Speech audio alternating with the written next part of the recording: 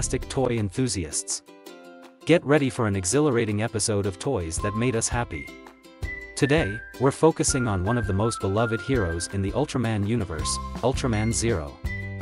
We'll be showcasing the incredible SH Figuarts Ultraman Zero figure, complete with his epic Aegis armor, and exploring the thrilling story of how Ultraman Zero makes his grand entrance into the Ultraman series.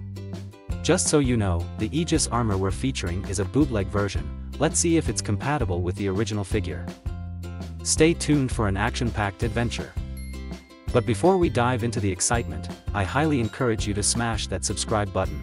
Trust me, you won't want to miss out on the multitude of reviews, exclusive collections, and upcoming hauls that are in store for you. Now, let's embark on this review journey together. Here is the Ultraman Zero. He comes with basic accessories with most of it appears in the movies or TV series. Now, let's dive into the epic origin story of Ultraman Zero. Zero first appeared in the 2009 film, Mega Monster Battle, Ultra Galaxy Legends the movie, and he quickly became a fan favorite with his powerful abilities and compelling backstory. Ultraman Zero is the son of Ultra 7, one of the most iconic Ultras. Trained by the legendary Ultraman Leo, Zero's journey is one of redemption and growth.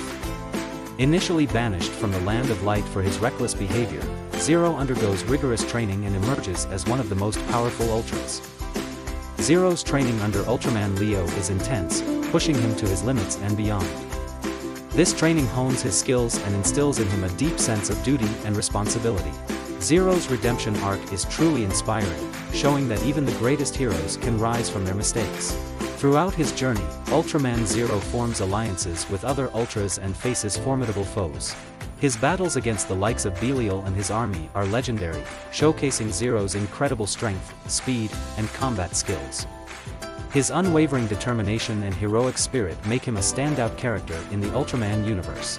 Now, let's zoom in and explore the intricate details of this phenomenal silver giant before transitioning to the next one.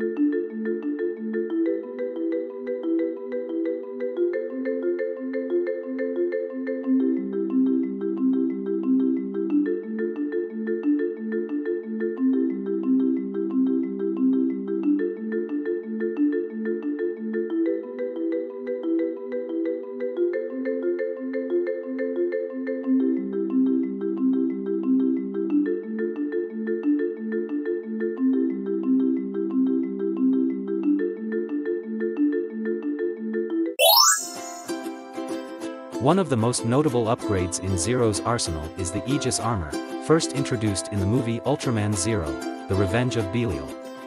This armor, also known as the Shield of Baraji, enhances Zero's abilities, providing him with increased defense and the power to unleash devastating attacks. The Aegis armor not only boosts Zero's physical capabilities but also symbolizes his growth as a protector of the universe. With this armor, he can withstand even the toughest adversaries, turning the tide of battle in his favor. Alright then, let's conclude these fascinating exploration.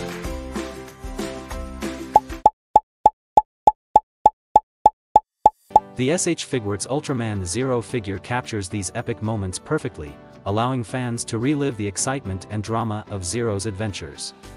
From his iconic attacks to his heroic poses, this figure is a must-have for any Ultraman enthusiast.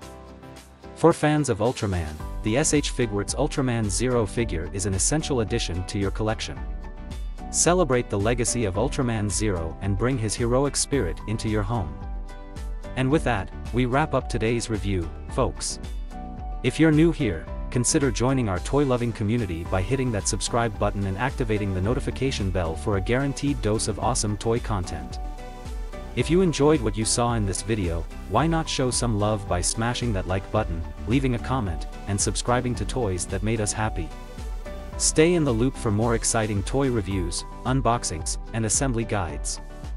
Your support means the world to us, so don't miss out, hit subscribe now, and let's embark on this toy-filled adventure together. Until next time, and remember, keep collecting and stay happy. Goodbye.